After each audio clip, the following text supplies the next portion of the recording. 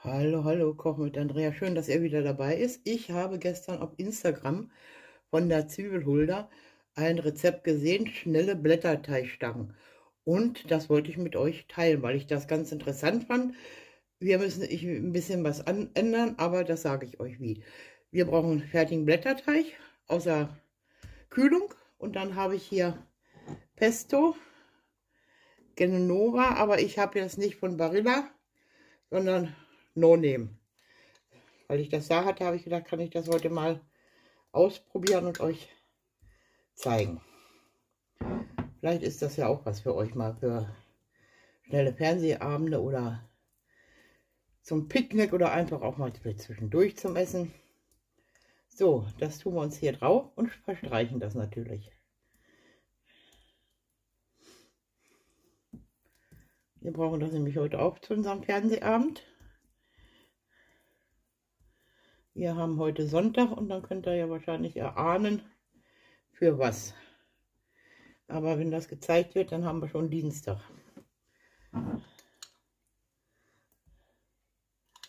So.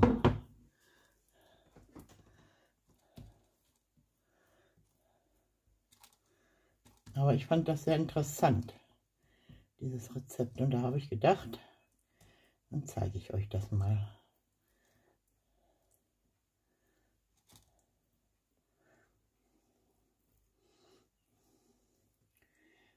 Manchmal gibt es ja ganz interessante Sachen auf Instagram.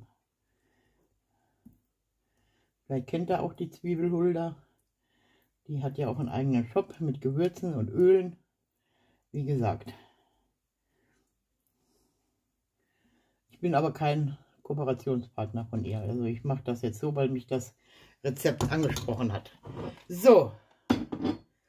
Und jetzt tue ich Käse drauf. Ich habe vier Käsemix, nehme ich. Und die Zwiebelhulde hat Räucherkäse genommen. Aber den weiß ich gar nicht, ob wir den hier bei uns in Niedersachsen kriegen. Aber ich nehme den jetzt. Vier Mixkäse. Das kommt jetzt einfach hier so drauf.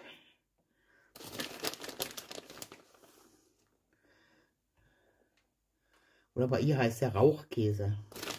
Aber wie gesagt, ich habe mich da nicht mit auseinandergesetzt, ob wir den hier bei uns in Niedersachsen auch kriegen. Deswegen diesen habe ich genommen. Hier Käsemix. Backofen habe ich auf 180 Grad schon vorgeheizt. Jetzt tue ich das einfach so hier rein.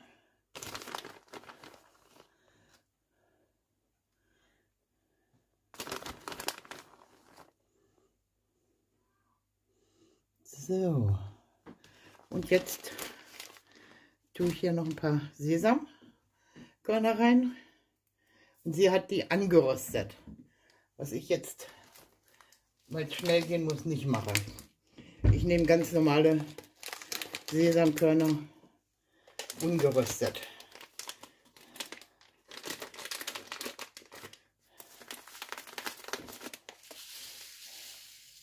Wie gesagt, wenn er ein bisschen angeröstet ist, soll das ein bisschen besser schmecken. Aber das könnt ihr ja dann für euch vielleicht machen.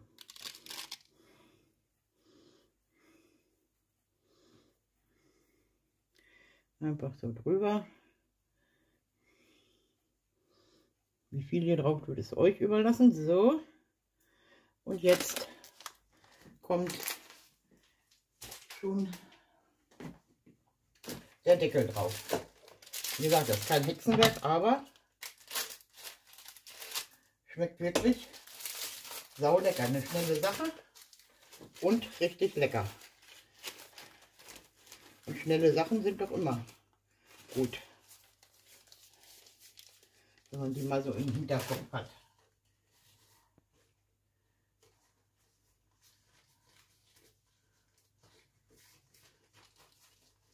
Mir jedenfalls.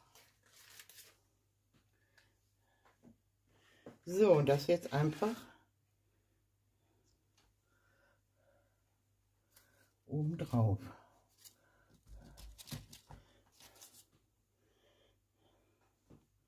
Jetzt ziehen wir noch ein bisschen.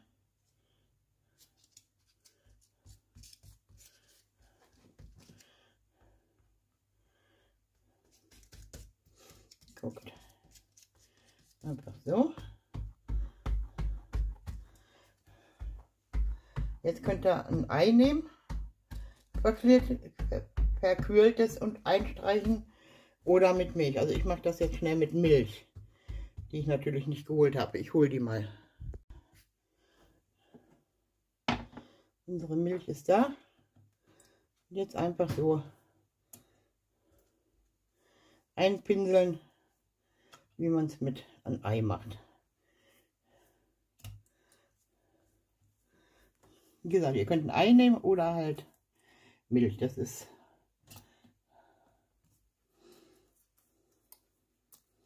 bei uns ist heute schon wieder so warm. Das ist wirklich nicht mein Wetter. habe ich voll mit der Atmung zu tun.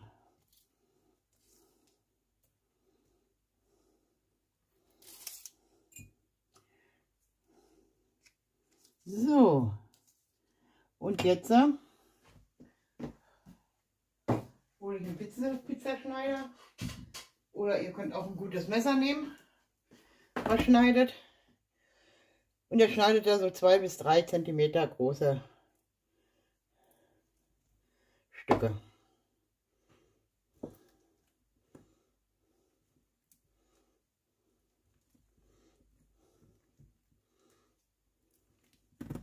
So, jetzt zeige ich euch mal, wie das gemeint ist. Und den Rest mache ich dann schnell alleine. Guckt. Das ist ein bisschen breit geworden, aber egal. So.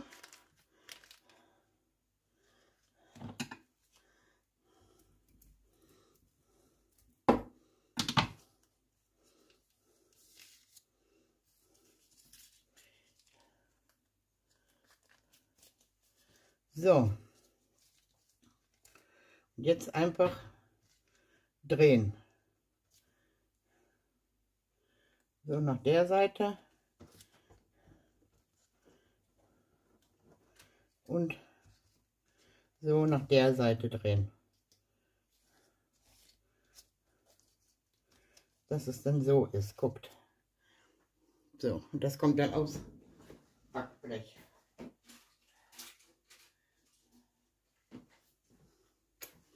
zeige ich es euch nochmal.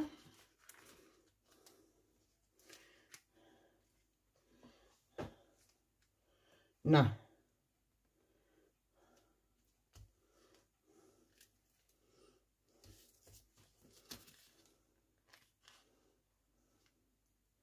So.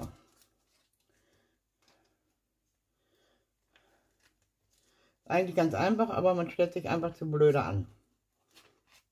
So. Seht ihr das denn? Und jetzt so rum.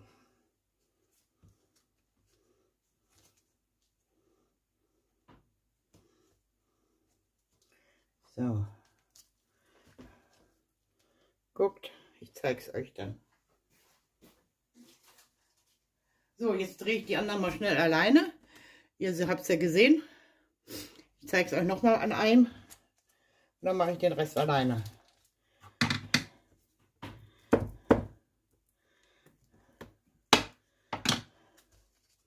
Wie gesagt, manche können das in der Hand nehmen und drehen, aber das ist zu lang.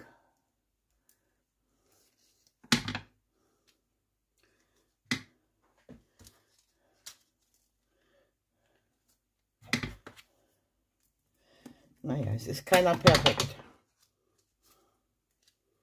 So.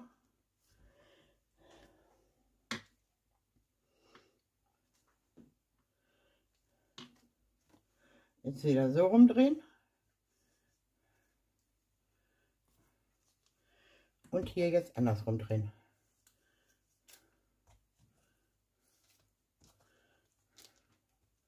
Und dann aufs Backblech.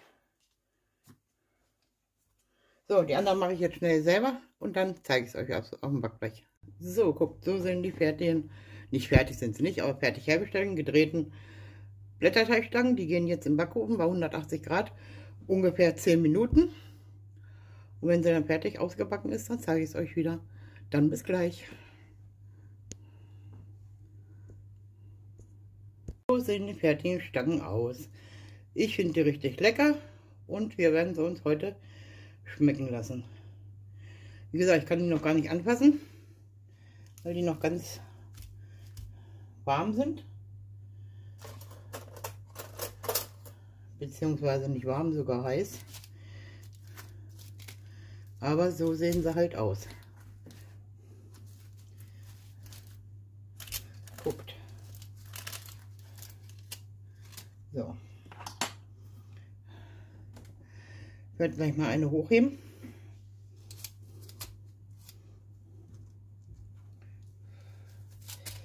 Ich stelle schon mal eine auf den Teller.